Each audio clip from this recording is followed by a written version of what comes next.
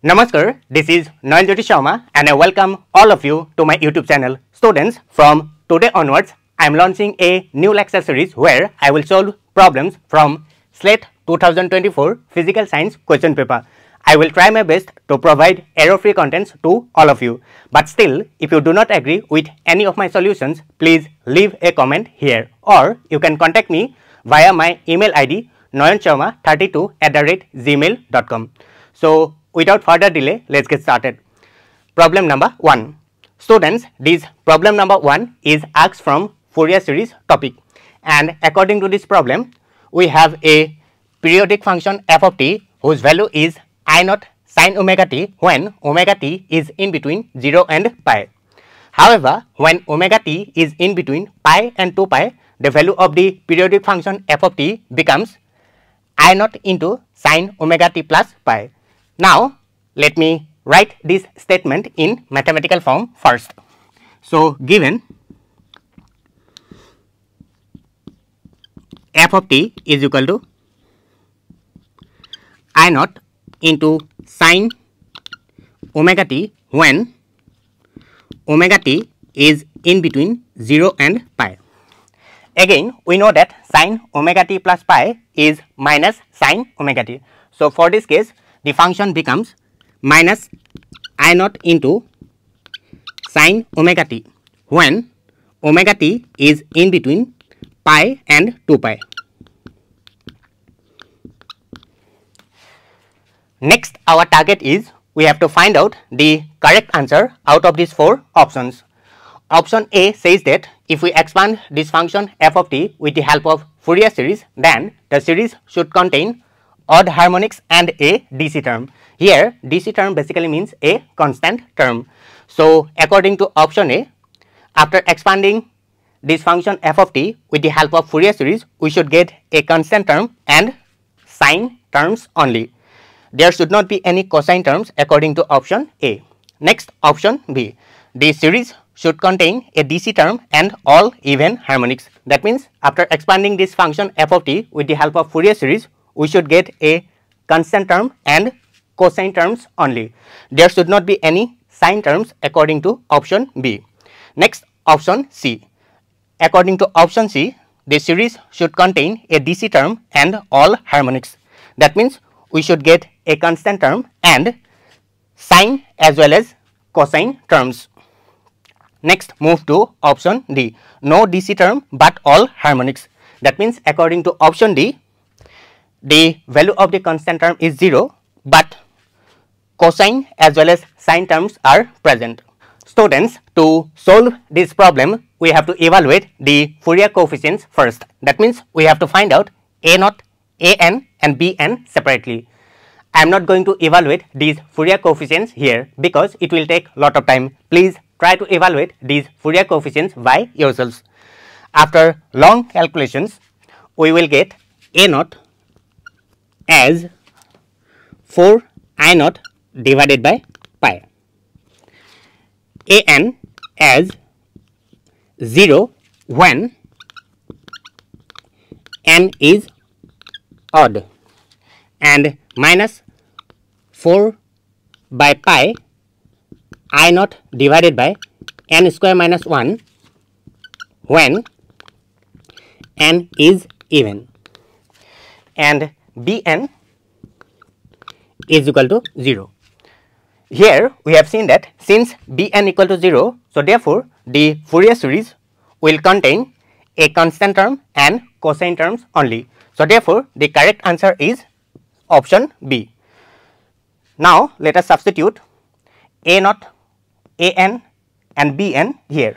So after substituting A naught, An and Bn here, we will get the Fourier series as f of t is equal to a naught by 2. Here a naught is 4 i naught divided by pi. So ultimately we will get twice i naught divided by pi. Next an the value of an is minus 4 by pi i naught divided by n square minus 1 when n is even. So after substituting here we will get minus 4 i naught divided by pi summation n goes from 1 to infinity cos n omega t divided by n square minus 1. Here n is even and starts from 2. Okay? And the last part will be cancelled out because bn equal to 0. After simplifying this term, we will get finally f of t as twice i naught divided by pi minus 4 i naught divided by pi into 2 square minus 1 1 by 3 1 by 3 into cos twice omega t plus 4 square minus 1 1 by 15 cos 4 omega t plus dot dot dot. So, this is the constant term or DC term okay? and this part is known as the even harmonics okay? So, correct option of question number 1 is B. Next, let me solve problem number 2. Students, this problem number 2 is asked from differential equation topic and according to this problem, the general form of the linear differential equation of second order is option A d2y by dx2 plus p dy by dx plus qy equal to r. Option B dy by dx plus p d2y by dx2 plus qy equal to r. Option C d2y by dx2 plus r dy by dx plus qy equal to p. Option D dy by dx plus p d2y by dx2 plus ry equal to q. Students, it is a very simple and straightforward question. Obviously, the correct option is option A. Okay? Always remember the general form of second order.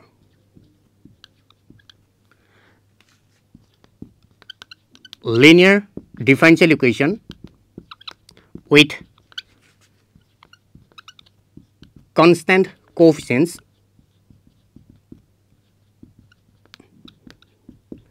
is d2y by dx2 plus dy by dx plus qy equal to r where p and q both are constants and r is a function of x or a constant. Okay? Next, let me solve problem number 3. Students, this problem number 3 is asked from classical mechanics topic and according to this problem, the number of degrees of freedom for a free rigid body in space is option A 2, option B 3, option C 6, option D infinite. Here the correct answer is option C. Now let us understand how option C is the correct answer. Students we know that total degrees of freedom for a rigid body is consisting of three parts. Number 1 translational degrees of freedom, number 2 rotational degrees of freedom, number 3 vibrational degrees of freedom. Here one important point is that these vibrational degrees of freedom is activated at very high temperature only and in general we do not consider these vibrational degrees of freedom in classical mechanics. However, these vibrational degrees of freedom is included in statistical mechanics. So, in case of classical mechanics total degrees of freedom for a rigid body is the sum of translational degrees of freedom and rotational degrees of freedom. So, according to this problem the rigid body is moving freely in space that means it is a 3 dimensional case. So, for this case the translational degrees of freedom is 3 and rotational degrees of freedom is 3. So, ultimately total degrees of freedom for a rigid body moving freely in space is 6. So, the correct answer is the option C. Okay? Now, let us solve problem number 4. Students, this problem number 4 is also asked from classical mechanics topic and according to this problem, which of the following statements is correct? Option A. The Lagrangian equations of motion are first order differential equation. This is not correct because we know that the Lagrangian equations of motion for a conservative system is given by ddt of del L by del qj dot minus del L by del qj equal to 0.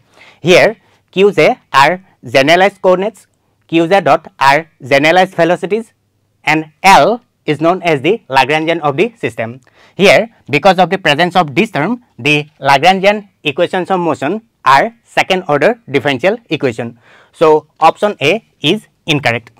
Next move to option B. D'Alembert's principle gives first order differential equation of motion. This is also incorrect because we know that the mathematical form of D'Alembert's principle is summation i goes from 1 to n FIE minus PI dot into delta RI equal to 0. Here FIE is the external or applied force on the ith particle minus pi dot is the reverse effective force on the ith particle and delta Ri is known as the virtual displacement of the ith particle. Here because of the presence of force term the D'Alembert's principle is a second order differential equation. So, option B is also incorrect. Next move to option C. According to option C Hamiltonian equations of motion are first order differential equation. This is correct because we know that Hamilton's canonical equations of motion are given by qj dot is equal to del h divided by del pj, pj dot is equal to minus del h divided by del qj, del l divided by del t is equal to minus del h divided by del t. Here qj are generalized coordinates, pj are generalized momenta L is known as the Lagrangian of the system and H is known as the Hamiltonian of the system. So, option C is the correct answer. Finally, let me solve problem number 5. This problem number 5 is also asked from classical mechanics topic. Students, before solving this problem, let me explain you four important terms. First one is relativistic particle. If the velocity of a particle is comparable with the velocity of light, then this particle is known as the relativistic particle. Second one is non-relativistic particle. If the velocity of a particle is extremely small compared to the velocity of light, then this particle is known as the non-relativistic particle. Next one is Lagrangian of a system. The difference in kinetic energy and potential energy of a system is known as the Lagrangian of a system. Next one is Hamiltonian of a system. The sum of kinetic energy and potential energy is known as the Hamiltonian of a system. Now, let me read the question number 5. According to question number 5, the Lagrangian of a relativistic particle is option A. L is equal to half m x dot square minus Vx. This is not correct because this actually represents the Lagrangian of a non-relativistic particle having degrees of freedom 1. So, this is not the case for relativistic particle. Next option B. According to option B, L is equal to m c square minus m naught c square. This actually represents the kinetic energy of a relativistic particle. So, therefore, option B is also incorrect. Option C, L is equal to minus m naught square divided by gamma minus u x. This is correct. Here gamma is equal to 1 by root over 1 minus v square by c square. So, the correct answer for the Lagrangian of a relativistic particle is L is equal to minus m naught c square divided by gamma minus u x. Finally, let me write one important statement. The Hamiltonian. The Hamiltonian of a. Relativistic particle is relativistic particle is h is equal to root over c square p square plus m naught square into c to the power 4 plus u x. Please remember this term. So, this is all about today's video and I hope that you have learned a lot from this video.